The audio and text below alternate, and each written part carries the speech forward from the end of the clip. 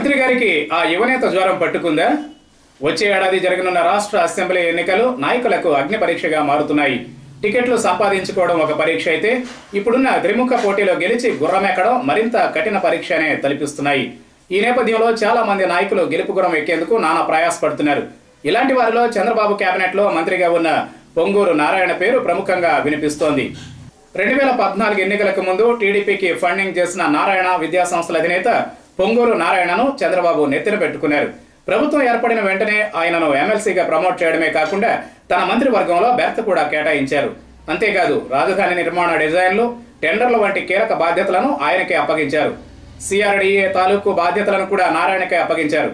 ఈ క్రమంలో సింగపూర్కు పలుమార్లు వెళ్ళి అక్కడి నుంచి పనులు త్వరితగతిన పూర్తయ్యేలా నారాయణ కీలక భూమిక పోషించారు. చంద్రబాబుకు నమ్మిన బంటుగా మారారు. అయితే నారాయణ దొడ్డిదారిలో మంత్రి అయ్యారంటూ విపక్షం వైసీపీ అవకాశం దొరికిన ప్రతిసారి దుమ్మెత్తి పోస్తోంది.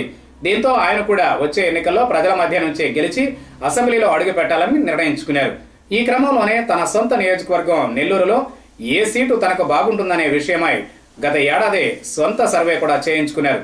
దీంతో ఆయన నెల్లూరు సిటీ నియోజకవర్గం అయితే తనకు తిరుగు లేదని మిగిలిన నియోజకవర్గాల్లో మేకపాటి ఆనం వర్గీయుల ప్రభావం ఎక్కువగా ఉందని భావించారు. దీనిని చంద్రబాబు కూడా ఇటీవల ఓకే చేశారు. అంటే నెల్లూరు సిటీ నియోజకవర్గం టీడీపీ టికెట్ అనధికారికంగా నారాయణ ఖాతాలోకి వెళ్ళింది. ఈ నేపథ్యంలో ఇక్కడ పరిస్థితులపై నారాయణ తన టీంతో పెద్ద ఎత్తున సర్వేలు చేయించారు.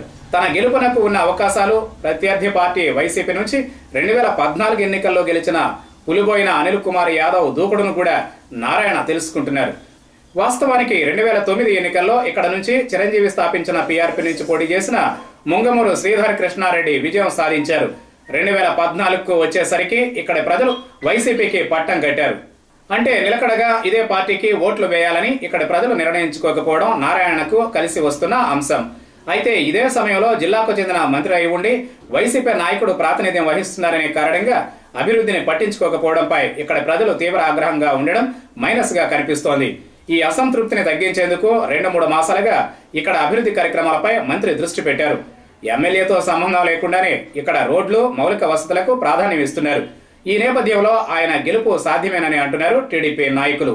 అయితే వైసీపీ యువ ఎమ్మెల్యే అనిల్కు కూడా ఇదే విధమైన మైలేజ్ ఉండడం నారాయణకు గుగులు పుట్టేస్తోంది. దీంతో గెలుపు తర్జన భర్జన పడుతున్నారు. మరి ఏం జరుగుతుందో చూడాలి.